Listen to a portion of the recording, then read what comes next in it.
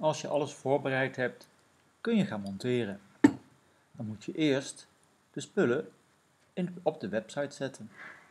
Nou, om te beginnen moet je natuurlijk inloggen. Dat gaan we hier doen. En ik doe het dan het liefst via de Stupeflix account. Ik heb het al eens eerder gedaan, dus hij heeft onthouden waar ik moet zijn. Hier is mijn pagina waar ik mijn filmpjes heb staan. Wat ik nu ga doen, is een nieuw filmpje maken en alles klaarzetten. Ik zal nog even de stappen laten zien.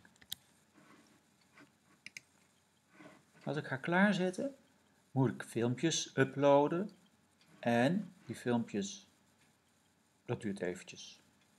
Daarna pas ga ik bewerken. Ik ga nu het klaarzetten, oftewel het uploaden, laten zien. Ik ga eerst naar maak video, make video.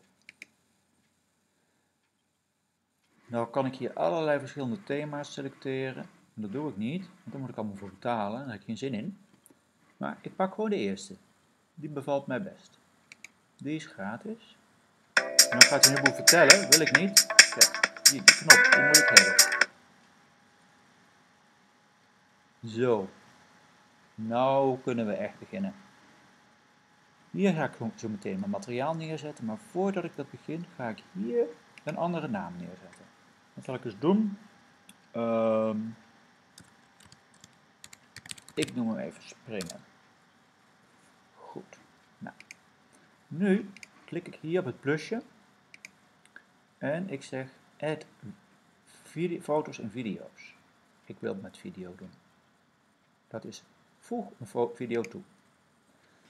Als ik daar klik, dan vertelt hij waar ik ze allemaal vandaan kan halen. Ik had ze natuurlijk in mijn Dropbox kunnen hebben staan. Ik kan ze ook via mijn webcam doen of zelfs een YouTube filmpje ophalen. Dat doe ik nu allemaal niet. Ik heb mijn eigen mooie filmpje gemaakt. Nou ja, mooi. Even kijken waar ik hem verstopt. Hier.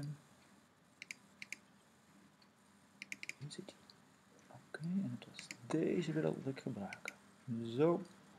Kijk, nou gaat hij hier helemaal omhoog zitten schieten naar de website.